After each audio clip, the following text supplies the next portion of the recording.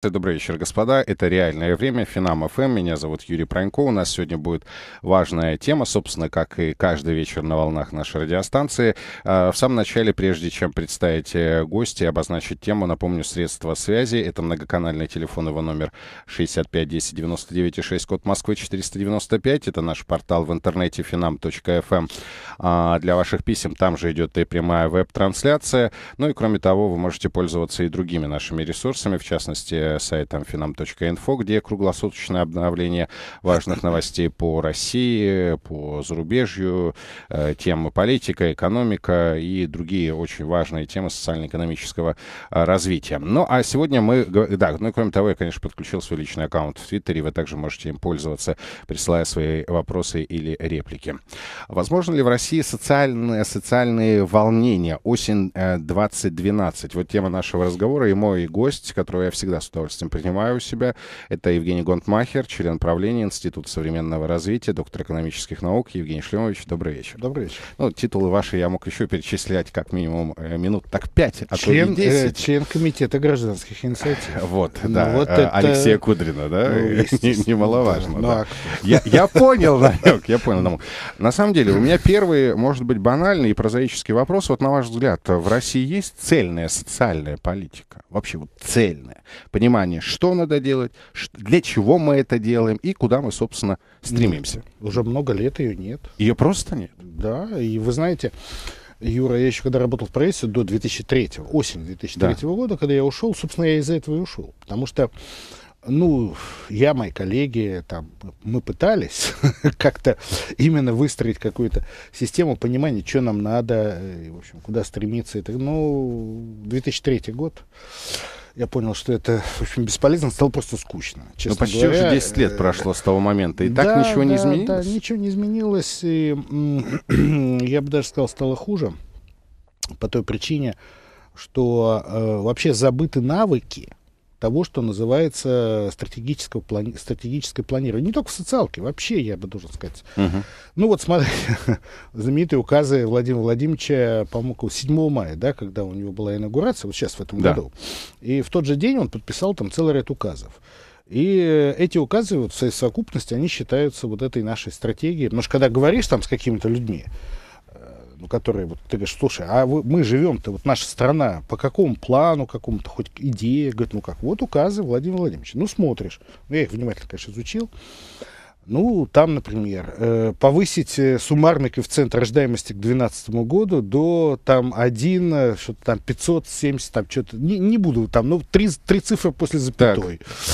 Значит, ну, ну как-то я, все человек, который имеет к этому некое отношение, я спрашиваю, ну хорошо. То есть вы все рассматриваете с прикладной точки зрения, нет, нет, а не фантазийной? Нет, нет, цель благородная. Надо, надо повышать рождаемость, я только за. Действительно, мы, нуж, против, мы, мы, мы нуждаемся, безусловно, в людях идет депопуляция населения. Но я спрашиваю, минуточку, а под это что подложено? Потом три цифры после запятой, в указе президента и к 2020 году это как-то вообще типа риски вообще какие-то возникают, потому что я говорю, ну хорошо, ребят, ну там много таких э, вещей есть очень, с моей точки зрения, э, рискованных. Например, там, что к 2020 году, по-моему, два или три российских университета войдут там в сотню рейтинга, да, мирового. Там. Это указ президента. Это указ президента. Кстати, недавно же была новость, что МГУ, мой любимый, который я да. заканчивал, и, в общем, он считается лучший российский вуз в мировых рейтингах там, во всех. Он опустился еще ниже, он, по-моему, где-то сейчас на 160, там, там 170 там, То есть, как бы вот мы должны к 2020 году и так далее. Но я уж не говорю про doing business известный, да, инвестиционный климат, где мы должны со 120, по-моему, на 20 место. Я говорю, ну, цели благородные, я же только за. Но, ребят, стратегическое планирование же что предполагает настоящее? Кроме того, что выдвигаешь благородную цель, ты должен как-то это обосновать. Uh-huh. Потому что там То есть же... совсем не обосновывают? Ну, а вы, пожалуйста, спросите. Я даже, кстати говоря, неизвестны даже авторы этих указов. Потому что я вам должен сказать, что в целом ряде даже министерств наших российских до подписания как-то не очень подозревали, что такие указы готовятся. Так честно вам скажу. Но приходится общаться. Понимаете, потому что, если говорить вот об этой культуре, это часть вообще профессионализма госаппарата. Uh-huh. В большом, в широком uh-huh. смысле слова это именно вот в этой культуре стратегического планирования, принятия решений. Там же есть целый ряд известных всем, это же никакая не новость, пунктов, да. Постановка цели, затем, естественно, это все требует э, как бы некие субцели, это требует, конечно, э, под, э, ресурсы, это этапы развития, потом, кроме того, мониторинг, контроль, вовремя корректировка, если что, и так далее. Там очень много, причем разные э, участники. Это же, допустим, ставит государство, но здесь должны быть общественные организации. Что значит государство? Государство это исполнительная власть, а законодательная она отдельно. Потому что я даже в шутку, того, как эти указы Чем вышли... тогда занимаются Нет, наши нет, чиновники, которые курируют расскажу. социальный блок-то? Я вот прям в растерянности нахожусь. Не только То есть они социальные. по- подсовывают э, Не только главе социальные. государства вот эти указы. Нет, я думаю, что, Может, они так снова же, что указы, указы, судя по всему, были написаны каким-то очень круг- узким кругом, скорее политологов, политтехнологов, чем экспертов, судя по почерку и Мгм. по тому, как это там сделано.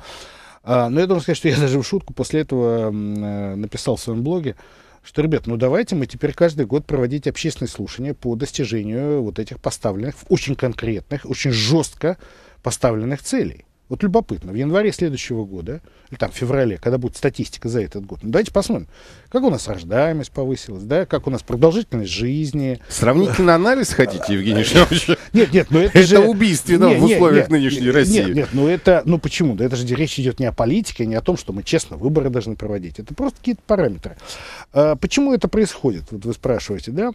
А, почему произошла вот эта утеря профессионализма? Потому что я знаю многих людей, э, которые, в общем, люди, ну, достаточно Компетентные. Компетентные, образованные. И, в общем, когда с ними разговариваешь, они все знают, все понимают. Но нет нужды. нет как не нужды. нужды? Ну вот нет Подожди, нужды. а куда мы идем-то? Такая- Вот э, тут я смотрю, уже идет реакция в моем твиттере. Андрей пишет, правильно говорит Евгений Гонтмахер, живем одним днем. Подождите, меня это не устраивает. Ну, меня тоже это не устраивает. Нет, вот, вот допустим, э, э, казус, который произошел со стратегией 2020, знаменитый Да, проект да. Путин. Путин инициировал в начале 2011 года, пригласил к себе Мау, Кузьминова, действительно больших специалистов, возглавляющих крупные... Все по-взрослому, все Да, серьезно. ребята, Да. сделайте мне, пожалуйста, стратегию развития страны там, до 2020 года. Ну, коллеги действительно там собрали десятки, сотни других экспертов, самых лучших вообще на самом деле. И там э, в конечном счете в конце прошлого года вышел вот такой том, он опубликован, ну, опубликован в интернете. Он Да, есть да, там он есть, 800 или там сколько страниц. И там главная мысль-то была коллекта какая. Я, кстати, отказался от участия, потому что я знал заранее, чем это закончится. Так. Вот, потому что не хотел тратить свое время впустую. Значит, коллеги что предложили? Совершенно разумно, я это полностью поддерживаю. Так называемый бюджетный маневр. Плюс 4% ВВП на образование, здравоохранение инфраструктуру и минус 2% ВВП, ну, в перспективе 2020 года, на оборону, правоохранительную деятельность и так далее. С точностью да наоборот. Да, и, кстати, когда, По у нас, факту. когда у нас там было Да. одно из обсуждений, меня пригласили, пригласили все-таки в качестве некого рецензента, я авторам говорю, друзья, я абсолютно на вашей стороне.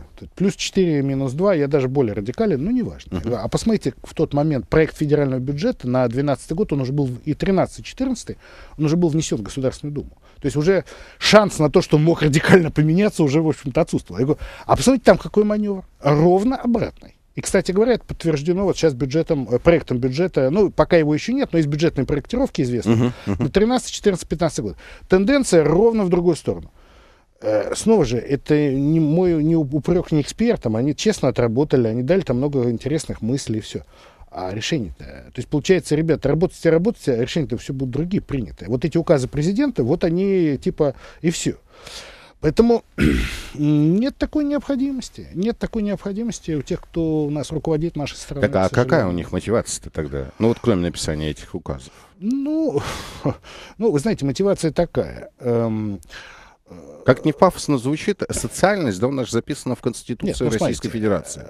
ну, то, что мы социальное Да, государство. да. Ну, кстати говоря, никто особо не знает, что такое социальное государство. Должен вам на, самом деле напомнить, Юра. Правовое определение, да? Ну, это, это, тема, это тема дискуссии, которая идет, между прочим, уже очень много лет, сразу же после вот написания вот этой статьи в 93 Мгм. году.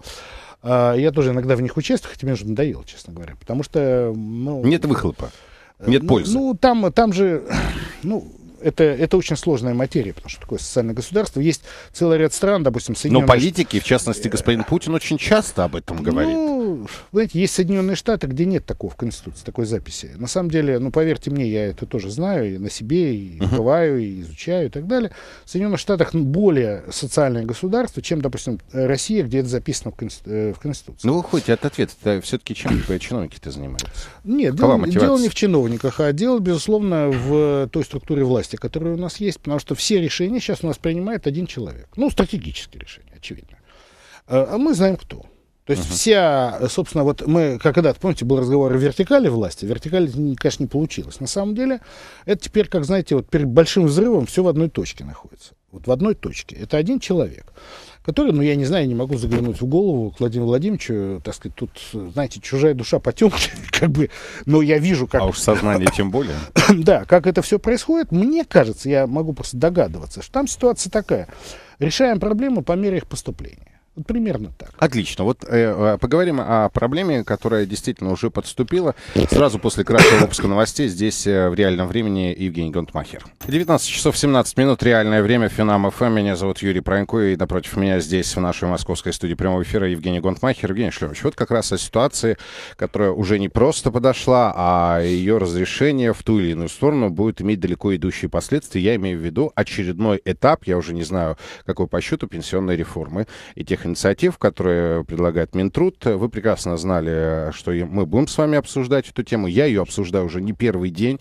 Я а, призываю господина президента не рубить с плеча и не идти на популистские уступки, очень циничные, прагматичные, э, в короткую, что называется, чиновников из Минтруда. Э, мне поступают разные реплики, мне рассказывают разные истории, кто там продавливает, э, чья это тема и так далее, и так далее. Но я вижу, что Путин реально мельтешит, мельтешит в хорошем понимании этого слова, он не рубит, он, он ждет вот этих предложений, и меня это крайне настораживает. Пункт первый, то, что как мы говорили, все зависит вновь от одного человека, куда это все повернет. Пункт второй. Я обеспокоен даже не столько личными накоплениями, да, и тех коллег, которых я знаю, и там, в общем-то, суммы, я не буду этого скрывать, неплохие, мягко говоря, да.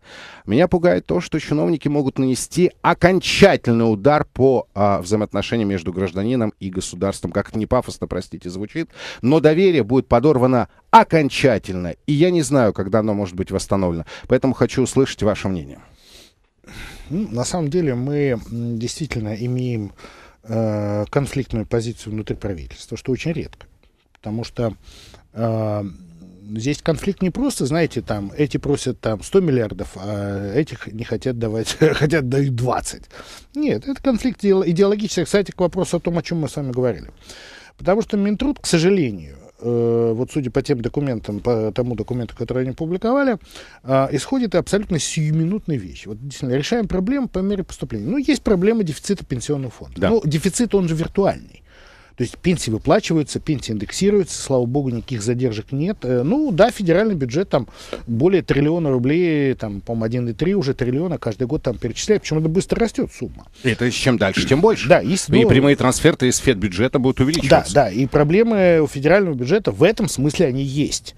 Потому что ясно, что он должен тратить немножко на что-то другое. Не только на оборону, безопасность. Но, кстати говоря, то, что снижаются расходы федерального бюджета вот на ближайшие годы, это запланировано просто впрямую на образование и здравоохранение, отчасти, отчасти э, можно связать с тем, что, ну, пенсия это святое. Ну, ты же не можешь уменьшать пенсии. Это абсолютно очевидно. Значит, и поэтому э, Минтруд, как э, отвечающее ведомство за пенсионную систему, он вот встал вот на эту позицию, может быть, пытаясь угадать э, мотивации Владимира Владимировича, что типа решаем проблемы ну, в так, таком тактическом смысле. Что, короткую, то, что, что, что будет да. через 10-15 лет нас не волнует, и вот надо сейчас отчитаться, угу. красиво и прочее. Кстати, э, горизонт э, нормальной пенсионной реформы, в течение которой особо менять ничего не надо – ну, небольшая не косметика. Да. Ну, это 15-20 лет минимум. То у есть нас... установили правила игры ну, хорошо, у нас, и, у и нас не за 10 лет, с 2002 года, три раза минимум были достаточно радикальные изменения. Ну вот что это? Да, причем... От слабоумия, Евгений Шлем? Ну, нет, ну я еще раз говорю, это вот ровно та сиюминутная, я могу проиллюстрировать, но давайте да. вернемся к нынешней ситуации. Это была ровно та же самая борьба сиюминутности и все-таки попытка некого вот стратегического видения вот на сколько лет вперед. Так вот, э, Минтруд вдруг занял позицию, что, ребят, э, надо сделать так, чтобы дефицит пенсионного фонда уменьшить, а вообще там, как у них написано в документе, в некой перспективе там, ну, нескольких даже лет, э, фактически сделать так, сколько пенсионный фонд собрал, столько он и выплатил. Ну, это что означает в переводе на наш простой, э, так сказать, русский язык? С русского да? на русский, да. С русского на русский. Это означает, что, как это было в советское время, сколько у государства есть денег, столько тебе и дадут пенсионеру. Все. А если у государства... Собес. Собес. Это ты полностью зависишь от государства, вот от его милостыни. Собрала больше денег государства, ну, тебе дадут чуть побольше. Поменьше. Значит, и это выравнивание. Это вот то, от чего, кстати, страдала советская. Неплохая, кстати, для того, для той э, политической, экономической системы, которая была тогда, мы к ней, слава богу, не вернемся. Uh-huh. Но внутри той системы, та пенсионная, э, пенсионный элемент был органичен. Потому что там все зависели от государства, понятно, и по всем другим параметрам. Там было выравнивание. Там же пенсии очень мало отличались друг от, в общем, друг от Та друга. система работала в той ситуации. В той ситуации. Сейчас же делается тем самым попытка, я не знаю, понимает Минтруд это или нет, но вернуться вот в нашей новой, абсолютно уже новой, мы имеем конечно, проблемы с рынком и так далее, большие. Но, кстати, в Советский Союз, я надеюсь, все-таки мы не вернемся. Это, значит, и это первое, что их осенило. Я думаю, что они считают, там, вот авторы этого документа, что они могут прийти к Путину и доложить. Владимир Владимирович, вот смотрите, у нас дефицит пенсионного фонда, а мы вот раз-раз, и через там, 5 лет мы его делаем нулевым. И они думают, что Путин это поддержит. Самое интересное, что Минфин, профильное министерство, которое как раз он мог бы выступить с такими ну, я бы сказал, на, я, я подбираю мягкое прагматичными. слово. Прагматичными. да. да я, хотел сказать, я хотел сказать драконовскими, но так, прагматичными.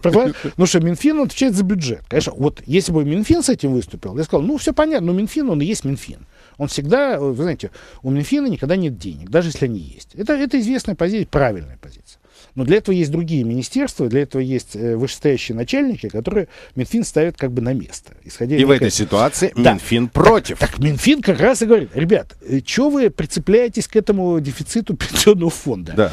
Мы пла- платим трансферт, мы, там есть другие предложения, как его снизить, но не за счет вот этой копилки, которая будет пенсионерам и нынешним, и будущим. Да как раз вот накопительная часть, Минфин ее категорически отстаивает, э, потому что Минфин говорит, ну, что через 15, 20, 30 лет Э, вот эта ситуация, она как раз и приведет к тому, что этот дефицит будет потихоньку снижаться, и, может быть, там, действительно, через 30-40 там, лет станет практически нулевым. Там действительно под это есть. Но надо подождать, да, 20-30. И это, это, конечно, парадоксальная ситуация. И вот они, конечно, схлестнулись, вот эти две позиции. Как бы Минтруд с пенсионным фондом, Минфин его поддерживает в целом Минэкономразвития. То есть вот, вот такая интересная ситуация. А, ну, действительно, у нас арбитр. Но ведь это, это последствия будут не просто далеко игла- играющими. Я просто вот обращаюсь и госпоже Голодец. Ну неужели она не понимает, вот этим ударом наносится просто убийственное убийство, сам, самоубийство в отношении гражданина ну, и собственного государства. Ну, от Ольги Юрьевны в данной ситуации мало что зависит. Э, должен, кстати, сказать, что она поддерживает позицию Минтруда. Угу. Для меня было, честно говоря, сюрпризом, потому что я ее знаю много лет. Ольгу Юрьевну, и как-то считал, она даже была не так давно членом комитета РСПП и по Я был удивлен, да. да, то есть э, ну, все-таки определенный это, бэк вокруг человека ну, тоже ну, есть. Я еще раз говорю, давайте тут это не будем обсуждать, потому что это не от нее, в общем, зависит. Есть один человек, это Владимир Владимирович Путин. Так. У него было совещание 30 августа, угу. он туда пригласил все действующих лиц, чиновники, там не было экспертов.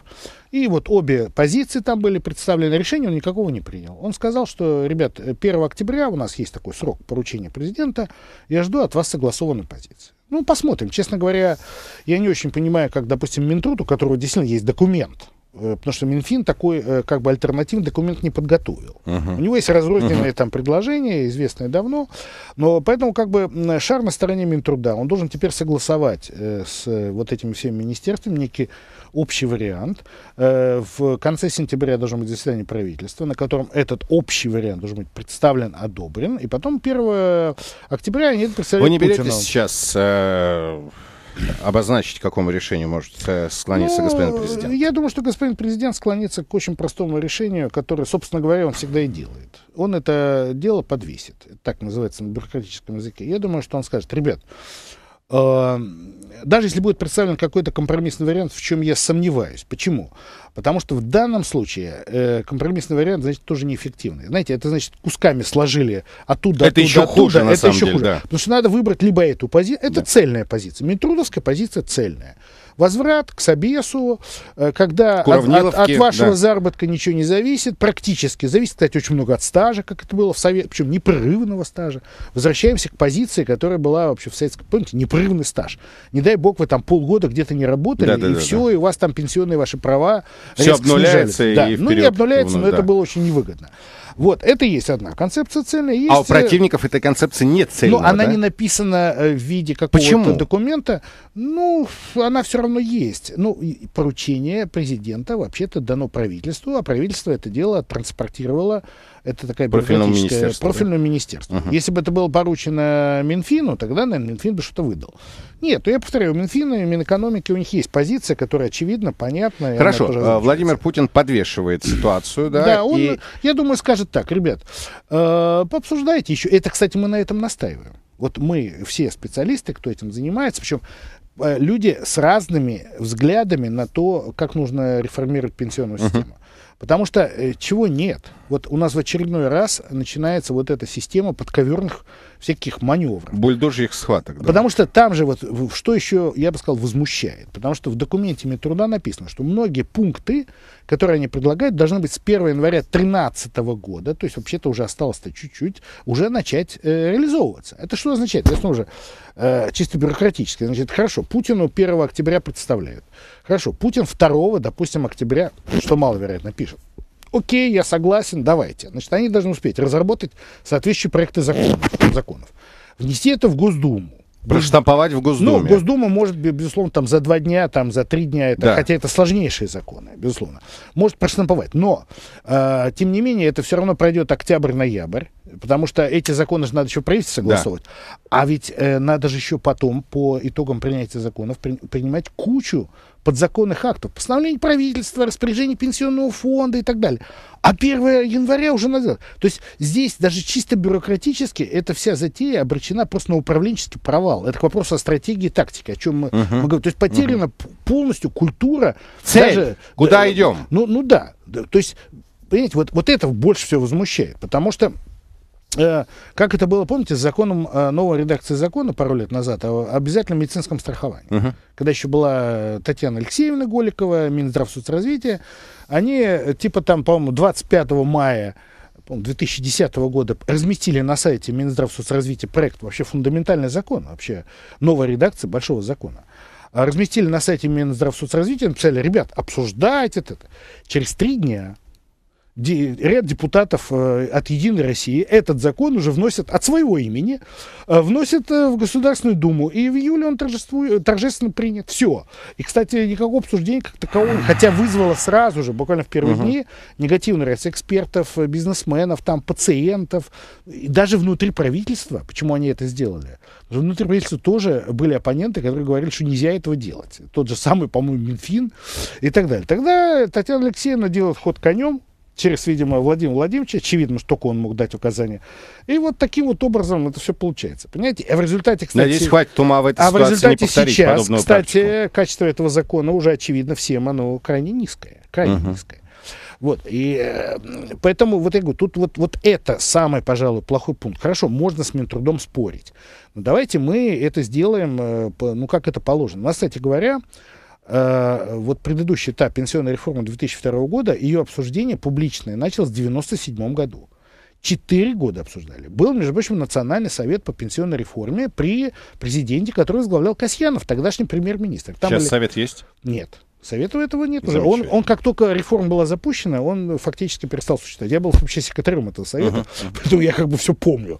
Потому что как раз нужно было этим, этому совету продолжать работать, мониторить ситуацию, там кое-какие вещи, все равно же были шероховатости. Вовремя подправили все. Нет, потом посчитали, что все нормально, знаете, как ребенок родился, его из роддома выбросили на улицу, так, теперь сам там ищи дорогу домой, там кормись, там одевайся и так далее. Вот и получилось. Меняй пеленки и Да, подгузники, ну да. Понимаете? А Евгений Гонтмахер здесь в реальном времени. Продолжим после краткого выпуска новостей. 19.32, реальное время Финам ФМ. Евгений Гонтмахер сегодня у нас в гостях. Письма на finam.fm, там идет и прямая веб-трансляция. А, звонки на многоканальный телефон 65 10 99 6, код Москвы 495. Виншевич, ну вот мы сказали о э, очередном 125, э, 125-м этапе пенсионной реформы в России. Я э, просто ерничаю, да? Значит, за последние 10 лет. Да, за последние 10 лет, хотя мы уже договорились, что минимальный временной лаг как минимум 15-20 лет, да, без, шарахания стороны в сторону. Вы сказали о том, что а, в проекте э, финансовой политики на ближайшие годы сокращение а, образования, финансирования образования из, из федерального бюджета. Из бюджета Потому да. что там э, говорят, э, те, кто это предлагает, говорят, что пусть региональные бюджеты компенсируют э, вот это вот падение финансирования с федерального. Зависимость возникает, региональных бюджетов. Возникает от, вопрос, откуда, а где они возьмут да, эти деньги? И где будут эти да. те, те самые трансферты. На ваш взгляд, эти темы могут вызвать социальные волнения? Вот я вспоминаю историю с монетизацией льгот. Я очень жалею, что ее не довели до конца.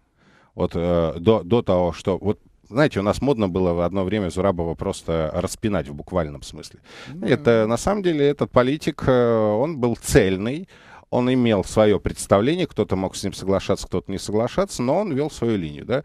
А, трухнули, реально трухнули и все-таки не довели до конца. Я хочу понять, вот нынешняя ситуация может спровоцировать? Нет. Э, нет. Нет. Uh-huh. Как раз здесь, в отличие от монетизации льгот, ответ э, отрицательный. Почему? А, и это, кстати говоря, это плохо, с моей точки зрения. Так. Это говорит о том, что, конечно, наше общество оно нормальное, оно ничем в плохую сторону не отличается, но оно просто уже давно э, махнуло рукой на государство, я бы так сказал. То есть как? Смотрите, нынешние пенсионеры, Нынешние пенсионеры от этой пенсионной реформы там не холодно, не жарко. Им э, то, да, то что будет ликвидирована правда. накопительная часть, их абсолютно не касается. Это политический вопрос, как для Путина это принципиально важно. Вот у нас все будет рушиться, а пенсию он будет финансировать. И будет даже индексировать там и так далее. Поэтому, э, так сказать, этот, вот эти почти 40 миллионов человек уже, они, ну, у них нет даже поводов, стимулов. Ну, есть общее недовольство низким размером пенсии, да, это правда. Но этого недостаточно. Да, но этого выйти, мы да. уже видим уже сколько лет это происходит, потом, угу. ну, потихоньку они растут. Э, если мы возьмем, э, допустим, молодых, вот другой как бы полюс, да, те, кто сейчас входит в трудовую жизнь, они уже давно махнули рукой на государство. Ну так, по большому счету. Во-первых, э, давно проведены исследования, люди... Так я тоже махнул, молодых... но они же теперь пытаются в мой карман нет, залезть с другой стороны. Да, да. но вы понимаете, люди молодых возрастов э, в своей массе, к сожалению, вообще не проинформированы о том, что такое пенсионная система, какие у них права. Ну, например, вот те же самые 6% э, накопительного обязательного элемента да. сейчас немножко стал получше. Сейчас угу. вот в частной компании уже вот э, перевело где-то четверть э, людей. На, на первом этапе реформ это было менее 10%. Но это люди, кстати, даже не молодые, это средний возраст. Кто уже так помастите, повзрослее там и прочее. А молодые, вот в своей массе, как показывает опыт, э, мотивация очень простая. Во-первых, надо до пенсии дожить, еще далеко, там 30-40, там не знаю сколько лет, и доживу ли, это первое. Угу. Второе, действительно, ну да, государство мне ничего не даст особого, но 3 копейки даст. Вот, вот знаете, вот такая парадоксальная ситуация. С одной стороны, нет патернализма. Я не надеюсь, да, но, а с другой но стороны, но, но, паечку, паечку ну, ну, ну, какой-то да. там прожиточный угу. минимум в виде вот фактически пособия. Да. Да? Ну, сейчас же у нас гарантирован пенсионерам, э, по крайней крайней мере, э, пенсия должна быть ниже прожиточного минимума регионального. И это как бы соблюдается. А, и я бы сказал так, э, растормошить этих людей, и потом у них, кстати, больших накоплений особо нет. Даже кто начал уже участвовать в этой системе, потом деньги-то виртуальные. Ну как, они, они живые, но если бы мы с вами их платили из нашего собственного кошелька, как вот, допустим, там, ну, подоходный даже налог, да? да, да. Я понимаю. А да. тут же платит работодатель. Ну, есть там какой-то, ведь у нас ведомости... Но это деньги ваши, господа. Нет, ну, это правильно. Это надо объяснять. Это то, что называется грамотность в широком смысле слова. Вообще, помню, в начале пенсионной реформы 2002 года была даже такая мысль шальная по тем временам, но, как оказалось, она была правильной. Вообще надо преподавать э, спецкурс в старших классах. Просто ребятам, которым там исполнилось там, 16 лет... Финансовой грамматики, согласен. Да, им надо просто рассказывать, вот, вот как складывается твоя пенсия, вообще, что такое финансовые рынки. Вот там не только пенсия. Какие производные, много... да. Ну, конечно. Это, это же крайне это важный элемент социализации Но у нас же в государстве людей. российском с подачи власти считается, что финансовый рынок это же нереальный сектор. Да. У нас же да, кувалдой принято. Да. Вот, тем более, вот, вот, там, вот там все реально. Да, тем более, что сейчас вот эти сложности на финансовых рынках за границей, и говорят, ну вот видите, чем мы будем тут о каких-то финансовых рынках, вот они там на Западе. Евгений Шлемович, так, э, простите да. то, что перебью, да, а, я потому что тоже эти реплики постоянно слышу. Я обращаю внимание всех, финансовые, э, финансовый кризис, в первую очередь в Европе, да, и опосредованно в Соединенных Штатах спровоцирован политиками и конечно, чиновниками. Конечно. Ну, Это правильно. надо понимать, не бизнесом. Нет, нет, нет. Здесь Финам ФМ да. Это, это да. вопрос ставится достаточно профессионально. Ну и порой здесь тоже бывают Но, тем не менее, вопросы. Тем да. не менее. Потом, смотрите, возьмем средний возраст, да, уже состоявшихся людей, кому там 30, 40, там 50 лет. Да, у них, э, значит, ну вы знаете, что 67-й год рождения моложе, у них есть вот эти 6%. Но э, там ситуация такая, снова же платит работодатель не я, потом э, эти 6% они дают все-таки для этих людей пока небольшую прибавку к пенсии даже если это будет существовать дальше. Потому что надо было, на самом деле, в отношении них развивать, во-первых, да, э, больше процент, во-вторых, давать им возможность самостоятельно еще и стимулировать, что ты еще сам придешь с работодателя в корпоративную систему, да? в частный банк, в частный управляющий, в частный вот негосударственный пенсионный фонд, еще денежку свою личную кровную отложишь, ну, ты, например, получишь э, вычет из подоходного налога, банк, куда ты вложил, получит вычеты, например, с налога на прибыль, ну и так далее. Это целая вот действительно финансовая инфраструктура, которая, кстати, более-менее работает на Западе, десятилетиями. Почему у нас в России это не внедрить? Ну, ну хочется спросить а? этих умников с Краснопресненской набережной. Они этого не понимают. Совершенно правильно. Кстати говоря, э, когда вводили накопительную, обязательно накопительную систему, исходили именно из того, что это будет подстроено под нее, и тогда все, что называется, будет, куму... будет да. кумулятивный да. некий эффект. А этого, к сожалению, в силу разных причин не сделал. Ну, например, э, там не государственный пенсионный фонд вынужден отчитываться каждый год о вот этой прибыльности. Но год на год не приходится. И у них получается так, чисто психологически по всем средствам АСВР. Вот этот год э, минус там какой-то. На самом деле на Западе такая отчетность идет раз там в 5, если не в 10 лет. Потому что, как показывает э, опыт, ну, эти же длинные деньги. Да. 30-40 лет, как правило, это хотя бы от инфляции ты за эти деньги сберегаешь. Не говоря уже о другом. Поэтому я бы сказал так, что здесь э, вот, э, вот, вот это, да, средний возраст. Э, тоже вряд ли у людей будет какое-то желание как-то куда-то что-то прийти. Работодатели, которые, собственно, платят, да, ну, я бы сказал так, э, пока на них не будет увеличен взнос, а это рано или поздно, если вот эта минтрудовская схема будет взята за основу, так. на них будет все равно увеличиваться так называемые вот эти страховые взносы будут никуда. Мы же видели вот хвост сейчас, да, сверх 512 тысяч рублей, обложили 10% в читайте налогом. Он, кстати, не увеличивает пенсионных прав вот этих людей, кто много зарабатывает. Да. Это налог. Это, это, это, это уравнительный налог? Конечно, конечно. Кстати говоря, введение вот этой верхней шкалы 512 тысяч рублей, с которой берется обязательный взнос, по крайней мере, было преждевременно. Мы об этом говорили много раз. Но неважно. Я просто сказал, что бизнес, да, но бизнес ведь реагирует на такие вот э, вещи. Кстати, то, что предлагает Минтруд, они предлагают уже буквально с 1 января начать вводить дополнительный взнос. я поясняю слушателям, да. 13 года, да. Э, дополнительный взнос на тех, у кого есть список один, список, ну, вредные условия труда, которые предполагают досрочный выход на пенсию. Конечно, нужно решать эту проблему, но не таким топорным образом. Ты тогда с бизнесом, вот мы в, буквально позавчера проводили в РСПП э, комитет по пенсиям, по пенсионному обеспечению там, и социальному страхованию. Uh-huh. И там был и Кудрин, и Шохин вел это, и Юргенс. Ну, все как бы люди, которые... Был Топилин, кстати, министр труда. Люди, которые к этому имеют прямое отношение. Но все говорят э, Минтруду, ну, дорогие, конечно, надо решать проблему этих э, досрочных пенсий, потому что это все ложится бременем на пенсионный фонд. В результате, кстати, нынешние пенсии можно было бы увеличить. Потому что это треть у нас uh-huh. людей выходит на пенсию досрочно. Но нельзя же таким нахрапом говорить работодателям, ставить их перед фактом. Ребят, вы платите плюс столько-то. Ну, есть же понятие э, прибыльности, там, дивиденды, там, ну и так далее, и так далее. Но если это станет Да, но есть элементарные законы экономики. Ну, конечно. Это, то есть работодатель, ну, снова же, он не будет выходить на улицу, он просто ногами. Ну, как у нас это уже идет, между прочим. Да. Так вот, так а, вот и у меня вновь а, а, возникает, Евгений Кстати вопрос. Говоря, То есть, получается, э... простите за жаргонизм а, нашей нынешней российской молодежи, да, то есть лохами-то оказались те, кто в белую все платит. Ну, в общем, да. В общем, да. Кстати говоря, э, зафиксирована тенденция в последние пару лет, когда, э, помните, там было повышение взноса, потом снижение, вот, вот это, до 34% угу. было совокупное, потом да. снизили до 30, но ввели это, вот эти 10% на хвосты, ну, зафиксировал даже, кстати, Минфин, не, не только эксперты, что снова в тень пошли. Уход. Уход в тень, потому что люди не хотят действительно это все платить, работодатели. А работники с этим соглашаются. И, и можно 20 раз объяснять, что у тебя пенсия будет меньше. Но так как у нас ввели вот этот обязательный, вот этот верхний предел, с которого берутся взносы, у нас же ввели пару лет назад, так тихо-тихо, uh-huh. uh-huh. а советский элемент, максимальный размер пенсии. Ведь в чем была философия 2002 года? Что, дорогие, сколько накопил, это от тебя зависит. Столько ты получишь пенсию, любую. Вот, вот нет потолка. А тут у нас теперь все. У нас же сейчас по нашим рублям, там через там, лет 15-20, когда будут выходить люди, которые в, в основном в этой системе после вот этого введения потолка живут, потому что там есть да -да. свои схемы расчета пенсии, это по нашим э, рублям там 12-13 тысяч рублей пенсии максимальная. Это уже все Ох. рассчитано. То есть мы возвращаемся... Так я почему говорю, что это элементы советской системы, они уже внедряются. Вот, вот так ползком, ползком. А то, что предложил Минтруд, это фактически сделать логическое завершение в виде уже, так сказать, полностью всю Ну так объявите, пирамиду. что мы возвращаемся в СССР. Да, да, да. Поэтому я Будьте говорю, откровенными да, но при этом, гражданами. Юра, все-таки отвечая на ваш вопрос. Да. Ну, вы видите, как это все раскладывается. И, конечно, э, поводов для волнений я не вижу.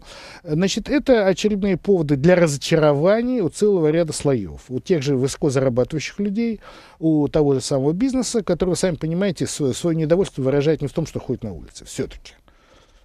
Это правда. Я на самом деле вот теряюсь э, в объяснениях, то есть э, мне кажется, это на самом деле катастрофа.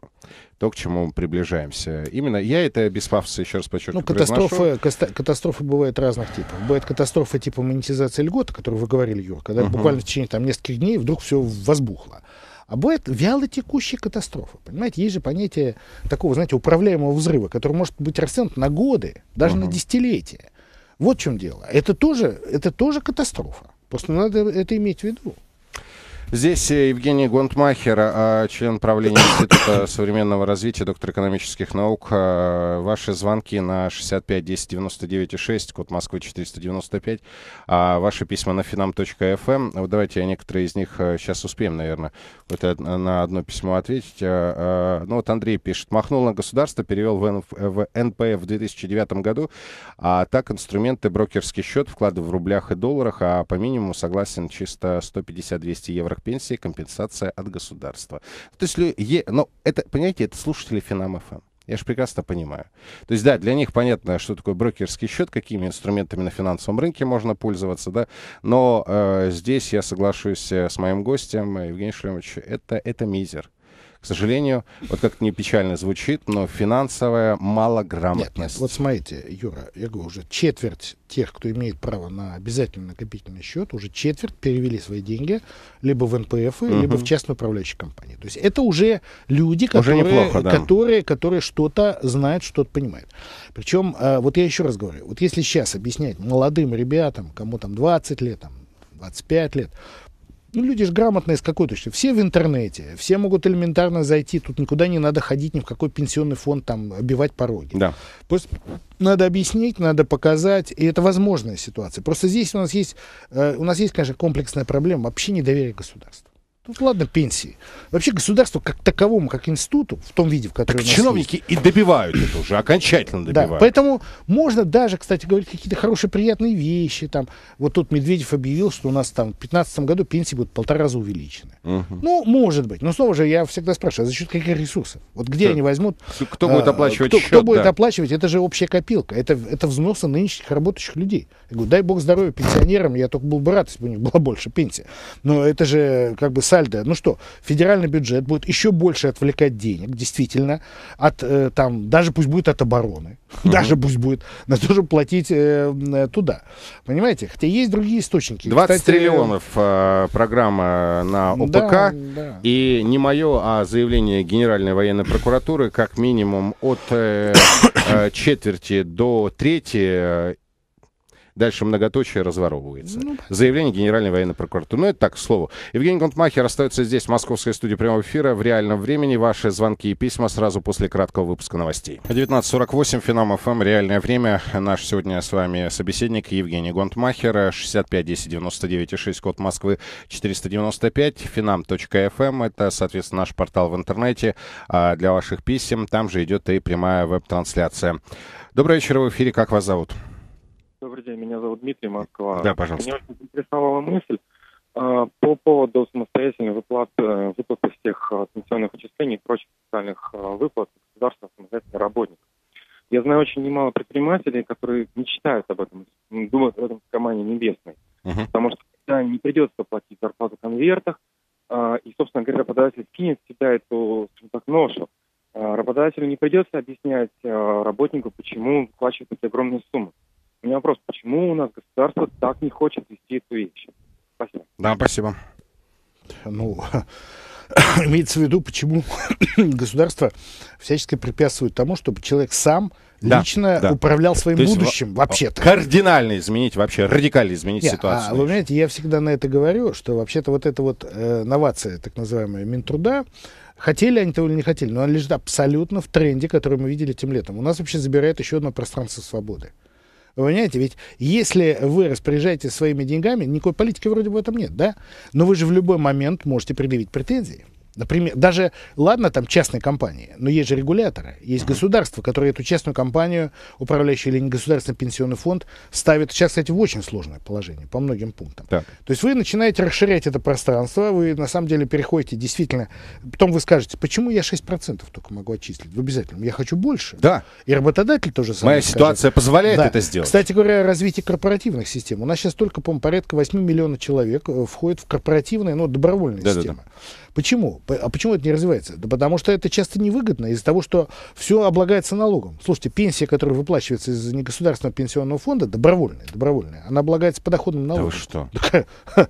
интересно. Слушайте, я так сейчас я... выпаду из зоны русского литературного языка. Нет, это... Минуточку. А что, что это вообще сидит нет, там я, я просто... и принимает подобные нет, решения? Я почему и говорю, что... Кстати, была очень любопытная дискуссия, вот отвечая на вопрос Дмитрия, Дмитрий, тут, да. потому что идеология. А, когда начиналась вот реформа 2002 года, и э, там э, вот когда, ну там же было право выбора дано, да, вот это вот uh-huh. между обязательно накопительной, то есть между частной управляющей компанией тогда и э, государственной управляющей компанией. Я помню, мы обсуждали в правительстве вопрос, надо бы рекламировать людям, сказать, что есть такой выбор. На что некоторые люди в правительстве, не буду знать фамилии, они сказали, а зачем нам рекламировать за государственный счет частной компании? Пусть они сами себя рекламируют. Потому что там предполагалось, что пенсионный фонд будет иметь большую программу информирования людей о, о начале пенсионной реформы. Знаете, в Швеции, где аналогичная пенсионная система, кстати говоря, uh-huh. там в каждый почтовый ящик бросили, у меня есть этот плакат, когда они начинали, плакат вот такой вот, он так разворачивался, и там наглядно, то, что сейчас называется инфографика, тогда это так еще не называлось, наглядно показано было, как, чего, где твои деньги, куда ты можешь идти, в каждый почтовый ящик. А у нас ты бросишь в каждый почтовый ящик, там будет написано, ты можешь перевести в частную управляющую компанию. А зачем? Зачем нам рекламировать частную управляющую компанию? Вот такая вот была идеология. И, кстати, тоже любопытно. Письмо счастья, обратите внимание, откуда произошло понятие «молчун», которых было тогда более 90%. Потому что тебе приходит да, письмо, и ты э, должен сделать выбор угу. да, между государственной управляющей да. компанией и да. частной. Так, чтобы попасть в частную, ты должен заполнить заявление. А если ты его не заполнил, то автоматом идешь в государственную. Ну, это же заведомое неравенство. Причем оно, знаете, вот таким вот хитрым да, способом российские было чиновники нет, очень так, прагматичные нет, нет. Казалось бы, мелочь. Казалось бы, мелочь. Но очень важная, на так она... Вся жизнь состоит из мелочей. А если бы нужно было писать заявление и туда, и в... туда, я еще не знаю, может быть, было бы не 10% в первый этап, а может быть, сразу 20% выбрали бы частные да. компании и так далее. Понимаете, поэтому вот это идеология. Вот Но то, как, как вы считаете, э, все-таки вот э, мысль Дмитрия, да, которую мечтают а, многие предприниматели, она реализуема или это так и останется фантазией? Пока нет. Нереализуема. Пока, пока нет. Да, я понял. Э, вы в эфире, как вас зовут? Вечер добрый. Здравствуйте, Сергей меня зовут. Uh-huh. Я, я вот хотел бы господин Гудмахер все-таки, вот мне непонятно вот вопрос задать. Вот если будет все-таки одинаковая пенсия у всех, ну, богатые люди, они сами себе на пенсию накопят. Ну, а люди же в основном-то, если будет нормальная пенсия, это же хорошо. Вот почему вы против того, что если пенсия будет у всех. Понял, понял. Да, Но, спасибо. Вы, вы знаете, парадокс заключается в чем? Э, он заключается в том, что, да, можно всем платить, это будет называться, правда, не пенсия, это будет называться пособие по возрасту. Ну, это ничего, ничего плохого в этом обидного, кстати говоря, нет. Но э, расчеты давно все сделаны, это, это пособие будет низкое для всех. Вот в чем дело. То есть обеспечить, чтобы оно было там, э, допустим, какое-то достойное, чтобы люди на это могли нормально жить, невозможно невозможно, хотя бы в силу демографии. Смотрите, у нас сейчас э, где-то 37 э, миллионов пенсионеров, уже даже немножко побольше. А вы знаете, сколько плательщиков вот этих страховых взносов у нас в стране? 50 миллионов. Значит, получается, что, и, кстати, соотношение ухудшается. Буквально лет через там, 5-10 у нас будет один к одному. Понимаете? И вот на эти деньги вот этого там страхового взноса или налога, давайте ведем налог на пенсии, Э, что вы можете в, так, в условиях такой демографии выплатить э, в виде вот этого одинакового пособия? Все равно 3 копейки. Все равно 3 копейки. Вот И потом, вот понимаете... Нет, давайте, я... нет, давайте мы договор... Я всегда говорю, пенсионные дела это, это, а, это общественный договор. Давайте мы договоримся вот со слушателем, с многими другими, скажем так, государство вам будет должно 3 копейки, когда вы ходите на старость, да? Остальное сами зарабатываете. Да. Действительно, если вы много зарабатываете, идите в банк, идите там, не знаю, покупайте квартиру, там, храните в железной банке деньги. Это ваша проблема. Так давайте об этом договоримся. Не ждите тогда от государства, что оно, что будете как сыр в масле кататься. Но я не системе. хочу никого вот сейчас обидеть, еще раз это подчеркиваю, да. А, значит, меня больше всего интересуют не люди богатые и не люди э, Да, бедные. богатые свои проблемы решают, я, я согласен. пекусь в первую очередь о так называемом среднем классе, middle классе. Понимаете, вот нравится это кому-то, не нравится, но именно эти люди являются тем движком, который вот в буквальном смысле прет экономику э, вперед. Ну, да. Вот кто бы мне что ни говорил. Но, чтобы меня не обвинили в там цинизме, потому что на, мой цинизм на фоне цинизма чиновников вообще меркнет на самом деле. А я считал и считаю, люди малообеспеченные, это прямой функционал государства. Это прямой функционал. Вот ими и занимайтесь. А не лезьте в карманы среднего класса. Они как-нибудь сами разберутся. Куда и как и в каком объеме. Вы в эфире, как вас зовут? Добрый вечер. Добрый вечер.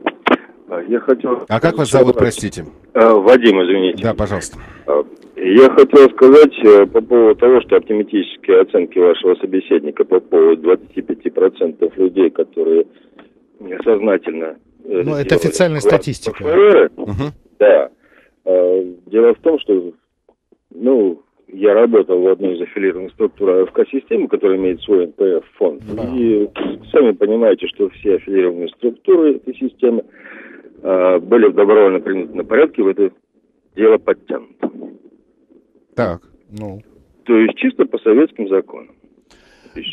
да, первое. да, да, можно я сразу отвечу? Действительно, я с вами согласен. Я знаю эту систему корпоративного, допол- дополнительного пенсионного обеспечения. Кое-где это делается добровольно-принудительно. Кое-где, но не везде, должен сказать, далеко не везде.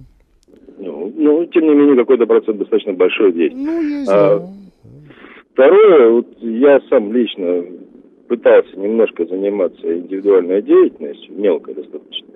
И когда при двух сотрудниках я плачу государству э, зарплату еще на одного сотрудника, не извините, достаточно проблематично для мелкого бизнеса.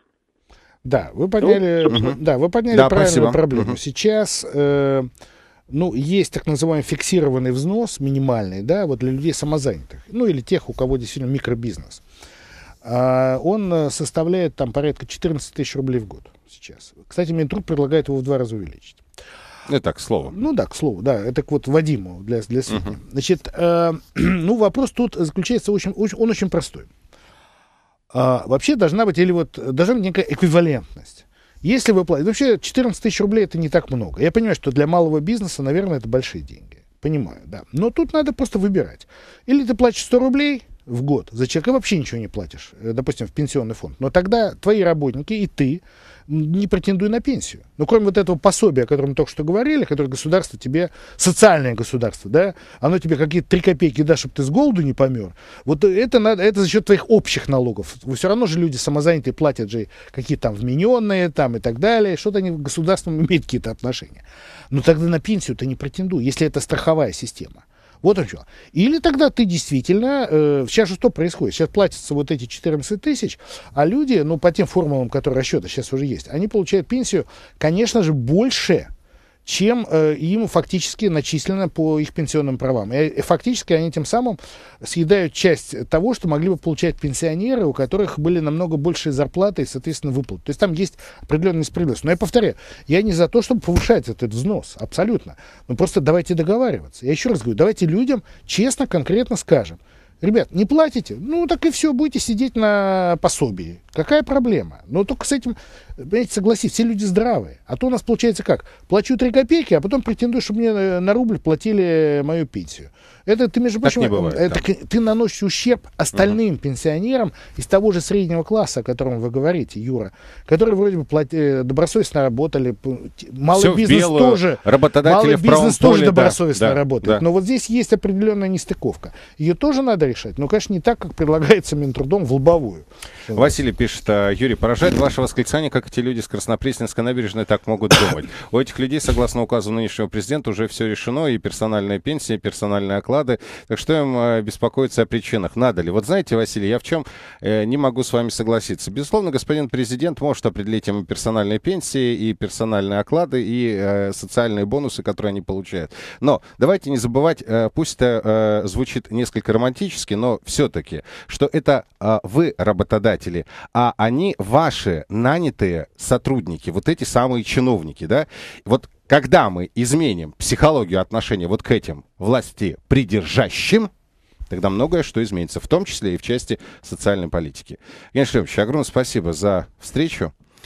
А сегодня у нас в реальном времени был Евгений Гонтмахер. Далее новости.